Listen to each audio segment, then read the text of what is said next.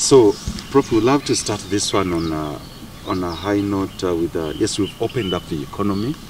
After two years of COVID-19, we've been hardly hit like any other country in That's Africa right. and even around the globe. Uh, first and foremost, we'd love to hear your views on what you think, because many Ugandans have been happy, they have been waiting for this. Why should they celebrate, or should they celebrate about the reopening of the economy and what lies ahead? Well, I think in my view, the starting point should have been the lessons learned from the COVID thing, actually. Certainly, there are positive things and negative ones from this COVID. And I must say that uh, if you look at the post-COVID now, what lessons, etc. One thing the government must learn from this COVID is the issue of people. Wh- Whatever policies you come up with, why coming up with policies? It's for the good of the people. Okay? So how has COVID affected the people? And who has been affected by the people? I mean by the by the COVID. Which people who have been affected by COVID? Uh, there are a number of people, of course, in the setup. So after the people, then the economy. And if you look at the economy, agriculture. Why agriculture? We have been able to feed our people throughout this crisis. That's the hmm. biggest lesson. Yeah. And I think the government should know, should not beat around the bush when coming up with these policies, target agriculture. And if you look at how much proportion it goes to agriculture these days, it's quite small. And yet, throughout this, agri- throughout this COVID, agriculture has supported the economy. Uganda does not import food, okay? And certainly, we are supposed to be even exporting food, okay? So throughout the COVID process, we have not suffered. We have not imported food. So it's a lesson to the government that they should not ignore agriculture. There should be too much support to agriculture because throughout the, the COVID period, our people have been able to feed. Now, it's quite unfortunate that when you want to go to the villages during COVID time, Matoke, for instance, was so cheap, Yeah. Very cheap, and the people there suffered a lot. Mm. Okay, again, I'm going back to agriculture. Government should not ignore agriculture. The government should start even putting more resources in agriculture. Where in the rural areas, put all the facilities, facilities to enable these people in rural areas live comfortably in the rural areas. They don't. I mean, throughout this period, two years, people have hardly moved from rural to to urban areas. Mm. Okay. Now, if you can make rural areas comfortable, come up with the facilities and so on, that, that, that- to me, that'd be number one thing. That's the biggest lesson, and that's that lesson should assist the government to put more resources into water agriculture. Now, which resources am I talking about? Which areas? The feeder roads in the rural areas. I know the government has done a lot about the infrastructure, mm. that you can move from one town to another town the, the, the infrastructure is basically from one urban area to another urban areas. But coming from the urban area to the rural areas, I don't think it's good. Okay, it's not good at all. Hmm. So government should not should not should not stop at only the the infrastructure from the town to town. Now it's time from town to other small towns in the rural areas, especially those which are feeding this economy. Okay, I mean if you move from here to from Masaka, go to Chamu Namukaka, there, there, there are two pi- pineapples there. There are many pineapples there, but they're being wasted. Can you imagine that every person is come takes about to is it is it 18 months mm. growing pineapples, and the fellow ends up with the 200 shillings. Yeah. 500. Yeah. Yeah, I mean, how? Okay, you, you, you make that economy strong. And pineapples by the outside. Our pineapples are very good in this country. Okay, those are the lessons. Okay, so continue, continue investing in infrastructure. That's go, okay, but also go deep in the rural in the rural areas.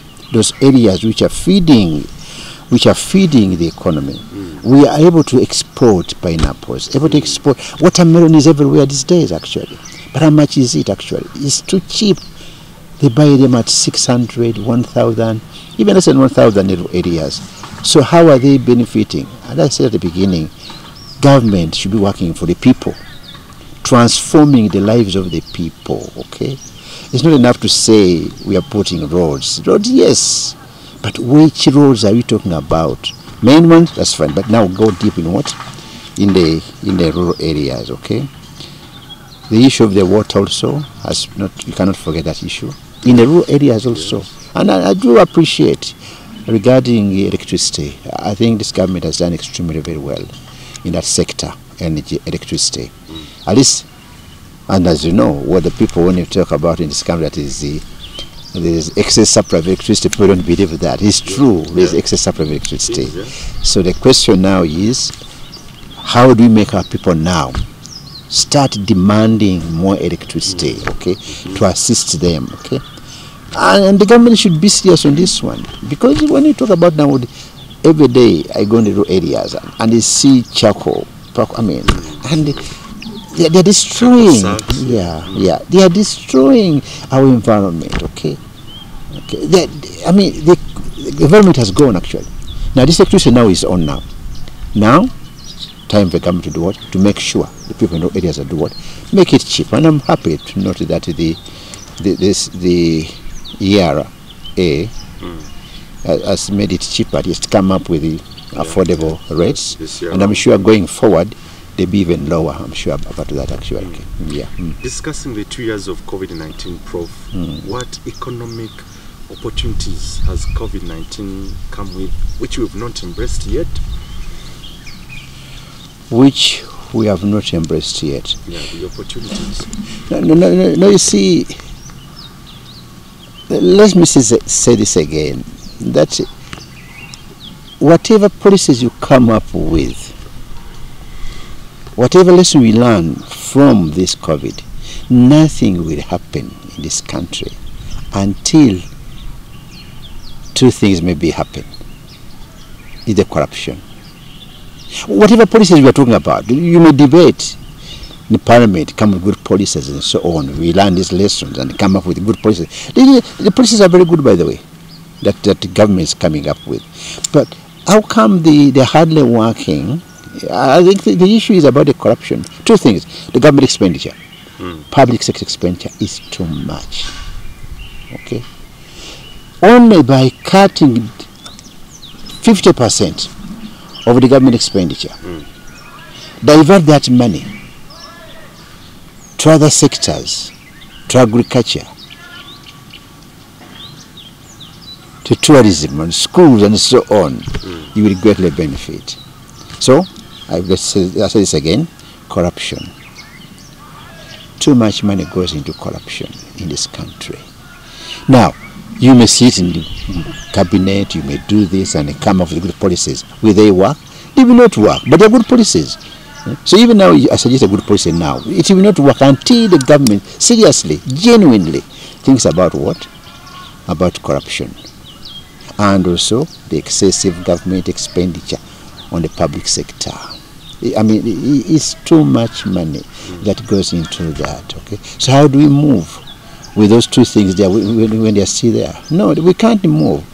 So uh, we must think about. Let's now put the money. Okay, the issue of the tourism. It's okay. It's one of the good things, a lesson from this what COVID, that when you look at the tourism, the tourist sector has been dead actually for some time, and yet it's one of the good sectors. But there are good three sectors: industry, agriculture, uh, and tourism, And service, sec- service sector, which Yeah, includes also tourist. Okay. The service sector, of course, in terms of employment, employs most people. But now it has been badly what? Affected. There is too much unemployment uh, because of the what? Because of the COVID. So that's what we are saying, that uh, the government has to come in, come in in the what? in the export sector. The, the real sector, that's the real sector, agriculture and so on. We have to do something also. The lesson again, exports went down. Yes. What about imports? Even imports went down. We have not been importing Mm. Because even there, I mean, can you imagine that uh, getting now a new car in Uganda is very, I mean, it's very difficult. Mm. You may go those people are importing them, they, but they can't get a new car. Of course, the second-hand cars may come, but a new car it has been difficult.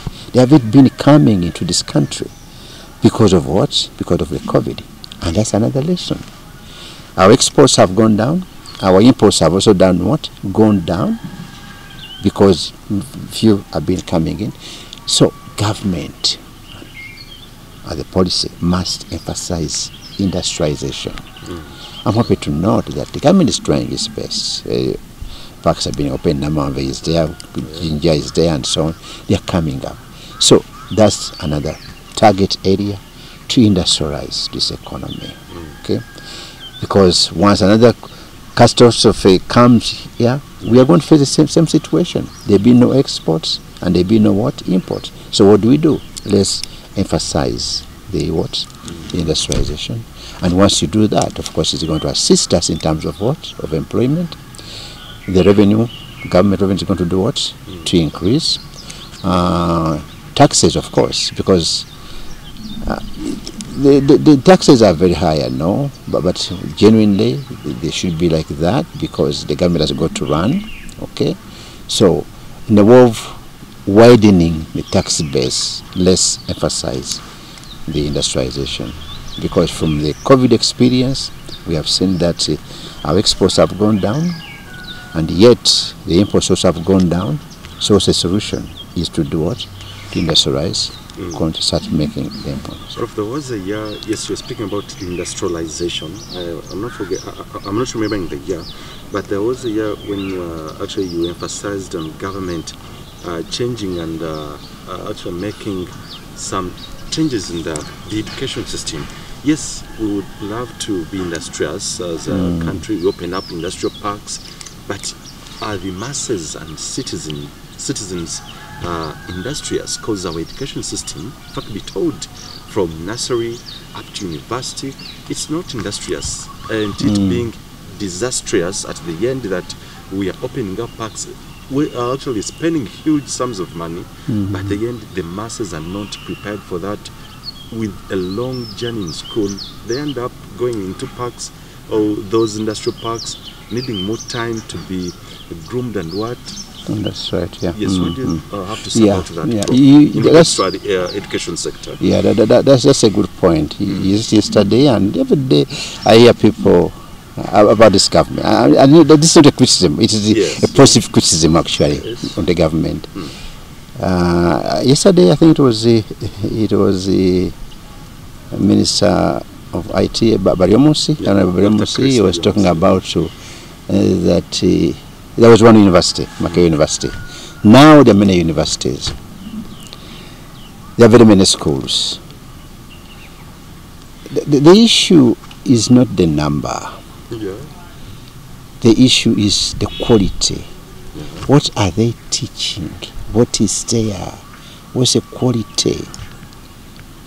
Yes, it's one one university now, there are about 50 universities.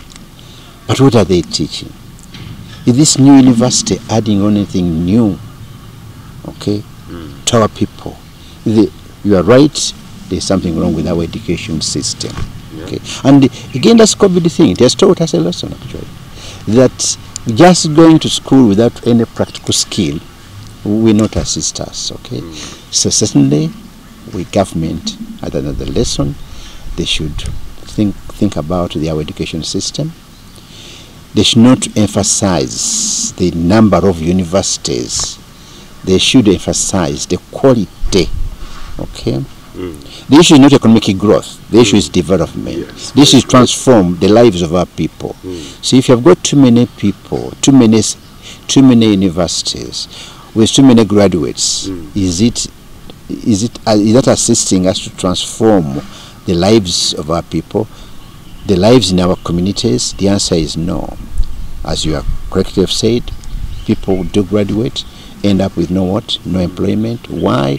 Partly because this education they did acquire from schools was not matching the needs of the society. So certainly, a lesson, good lesson. Let's do something about the education system of this country seriously. Okay.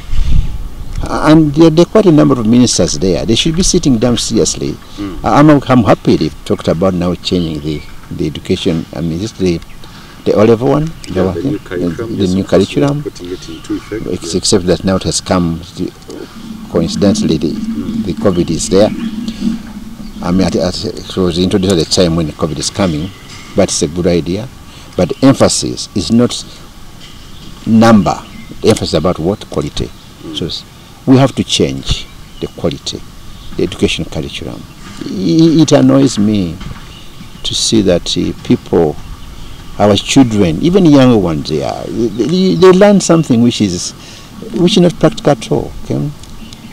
Uh, why should we really? Yeah, general knowledge is fine. We need to know what's happening in other countries. But, you find that people spend so much time learning about the geography of America, the geography of Canada, and so on. And yet, I was here. We don't even teach it actually, okay? Yeah. So I think curriculum should change and emphasize the needs of our people. Mm. So the question now of technical, because technical now, because now people are saying that maybe have more technical schools. Yes, we need maybe more technical schools, but even then within the university system, okay, and I'm happy to note that you see, when you look at the, the, the our doctors, Uganda doctors, are quite good because they go to the field they got the field, okay? Mm. Yes, in some of the universities have now introduced this internship, true, internship, but for how long is it? Is it to so one month? So what do you learn from that one, one internship one month, okay? And I think more time now should be devoted to internship. Practical internship, actually, N- not just for the sake of learning something from there, okay? Just like the medical school are doing, actually, yeah engineering should be the same thing also okay yeah Mm. so you're right we need to change the education system Yeah, Prof. People. Me as a, uh, a journalist and a person who has followed uh, things, or I always follow things critically, actually follow different countries and uh, in terms of the comparative politics and comparative economics, I sit down and ponder times that, uh, as you've mentioned, uh, economy versus the education system, don't you think, Prof, wasted money and time? Yes, I can be told, industrial parks have been opened, they have been constructed, and we must applaud government for that. But Yeah. do you agree with me that it is time versus money wasted uh, when even the generation we've groomed for many years in terms of the education, we've killed it and we are taking them into an industrial era uh, whereby we are still even lagging behind. Uh, other countries are in the, uh, in the fifth revolution. Don't you think we've killed the citizens by taking them into an era whereby they're not comparative or, even competitive and uh, like I don't know whether you speak with me in terms of wasting resources, yet back here the citizens have been killed by the education system. yeah yeah you're right. I mean entirely right the education system has killed uh, our people here. But i mean going forward now what do we do? We, we can't just continue lamenting okay Yeah. our education system okay no. I think the thing is to to have people in the government being serious and start on this matter serious lecture okay? So that uh, we con- don't continue losing. Agreed past is the past okay? We have lost we have lost okay? But moving forward now what do we do? Let's do the right thing actually. Okay, getting to previously, actually this year, uh, President insisted that yes, the economy must be reopened. Either uh, there is a full vaccination of the entire uh, population or not. But uh, there is this question that always comes to me. Yes, we faced tough times posed by COVID-19. Do you think the masses should celebrate, or they should uh, sit down, or they should uh, actually uh, wait for tough times ahead? because many have started celebrating. You, as an economi- uh, economist, do you think there is need to celebrate amidst the economic crisis? I, don't know what people are celebrating about actually. The opening up of the economy, it was bound to happen actually. It was even longer or long overdue. So government, we thank the government for opening up the what, the economy. But most importantly, I think, is now the people. Because the government is there, but most importantly, the people ourselves. What do we do in these circumstances? Economy has been open, it's very good. This change the, the mindset, basically. The, the issue, when look at our people, they, they, they are looking at government to provide everything to them, okay? I, I, I, I, whenever I hear something like Nabanja money, I, I really feel bad actually, okay? And people, they were there waiting, mm. waiting for 100,000, which got finished long time ago, okay? No, there should be a mindset. our people start moving, let people start working actually. What we need from the government is just to give us appropriate environment only, a conducive environment, okay? But we have to work starting from ourselves actually. The education system, we have talked about education system, provide the appropriate education system and people start working. And the people sh- should stop thinking about government, that the government is going to give them whatever they want actually, okay? Just provide a conducive environment, but, but not these handouts. I hate the handouts actually, okay? Yes, there are people who have been affected by this COVID during this time, badly affected actually. So the government can come up with a package to assist to assist whom people being affected. I mean, like the schools, the schools, the education. The, the government has to come in, okay, and assist the schools. Uh, short-term, short-term relief. But at the end of the day, everything has got to be with us, the people. What why celebrating? Okay, opening up the economy and let's start working. Okay, I mean, I know the night economy is, is very effective. I, it's about money, moving, changing hands, drinking, and so on. But at the end of the day, what do we get from this opening up the nightclubs? Uh, the issue is working.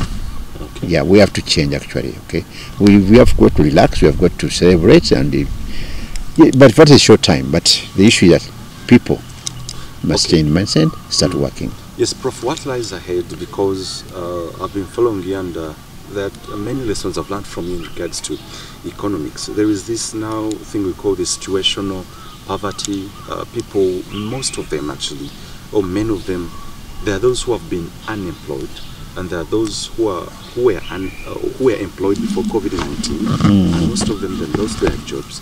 So we are, f- the economy is facing such a crisis after the reopening that a lot of people are unemployed right now. You're, yes, you're gearing up for people or you're telling them to go and work and being busy, but uh, Prof, I don't know what lies ahead after everything that has happened being brought up by COVID 19. Companies have cut the numbers of uh, workers. A lot has happened. What lies ahead to you, Prof, in regards to our economy after the reopening? No, I mean government. Seriously, the people under planning and the Ministry of Finance. There's this National Planning Authority. Seriously, they have to do something. Come up with the appropriate what package, policy package to stimulate the economy. And one of them is relief relief packages to some of the what, to some of the sectors.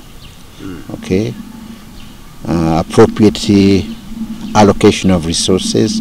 Resources should be going to those areas which are really needed actually. Okay. Uh, you see, these things are interconnected. Okay. As I said, the pack, even if you have got a good policy package, it will not work unless those things they are talking about are in place. I mean, as long as corruption continues in this country, you are not going to get anything new. Okay whatever good policy are coming up, coming from National Planning Authority, coming from the Ministry of Finance, they will not work unless those things are put in place.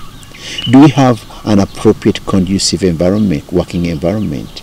Yes. Mm. If you have it, that's fine. The money which has got to go, I mean, you know, during this COVID period, many people got rich actually. Money, COVID money was misallocated. Things Minority parties have been coming up, and you have been wondering where are they getting the money from? This is corruption. So even if you come up with a good policy package, it will not work until those two things are made.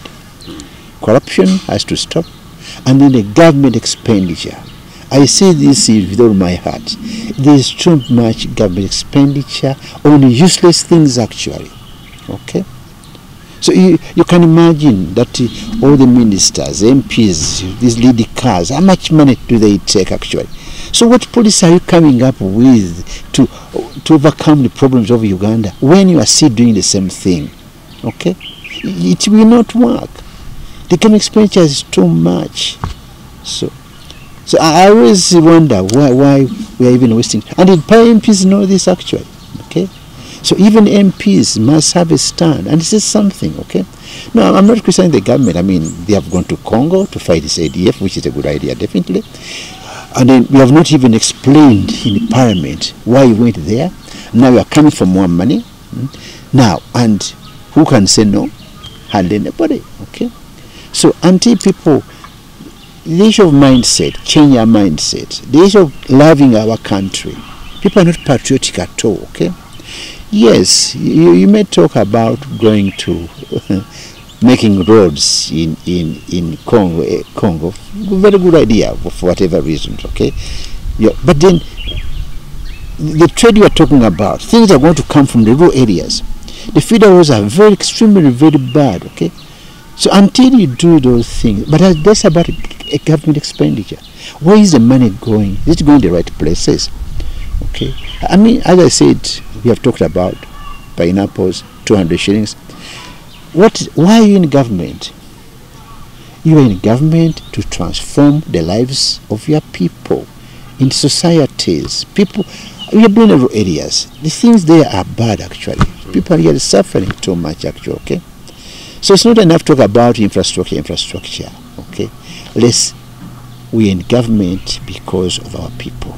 Let's transform the lives of our people.